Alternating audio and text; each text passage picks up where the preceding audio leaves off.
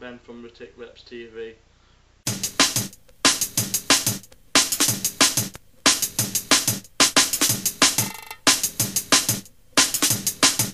Hi, I'm Ben, as you just heard.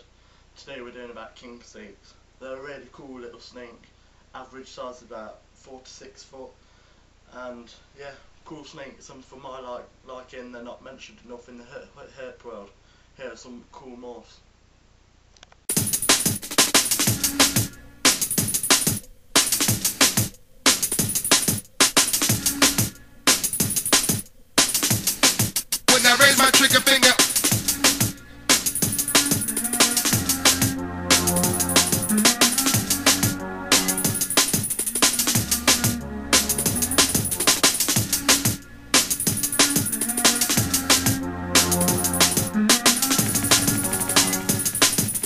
raise my trigger finger, finger, finger.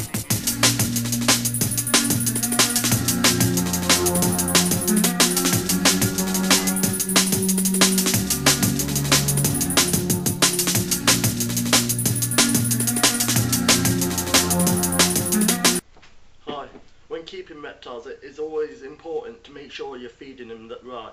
Like with snakes, you've got to do it like every five to seven days, and according to the size of mouse or rat or whatever you're feeding.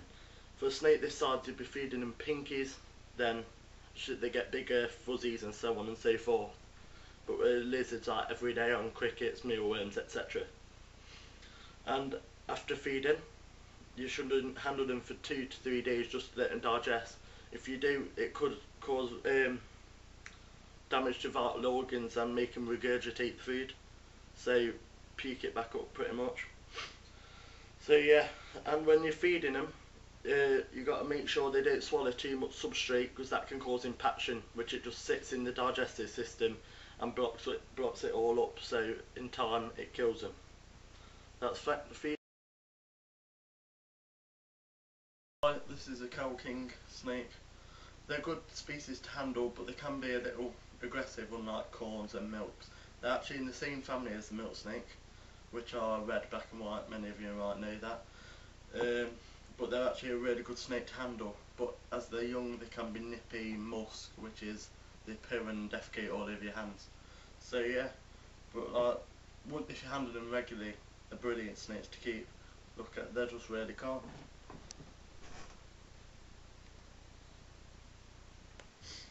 So yeah, good snake to keep for beginners, and good snake for experts. Just good overall snakes.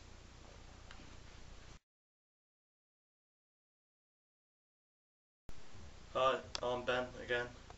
This is Molly the Cow King snake, and we're talking about housing now. So the size of your vivarium, what kind of vivarium or terrarium you need. For cow king, for adult cow king anyway, you need a three foot viv like this, or you can even go for a four foot one. The bigger the better, really, but not too big because snakes would rather be caught in a smaller enclosure to feel more secure and safe. So yeah, so a three foot uh, viv for an adult is plenty, plenty big enough. But if you if you want the extra room, go for a four foot. Anyway, uh, make sure it's all kitted out. So heat mat underneath the substrate so the snake can't get burns. Hides in the warm and cold end and just plants in a water dish with uh, fresh food and water every day just to make it look nice.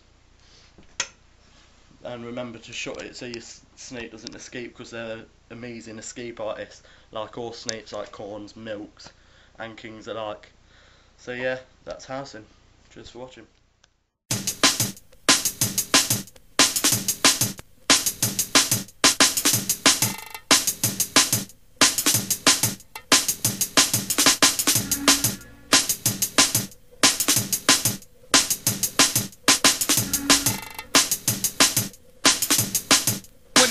trigger finger.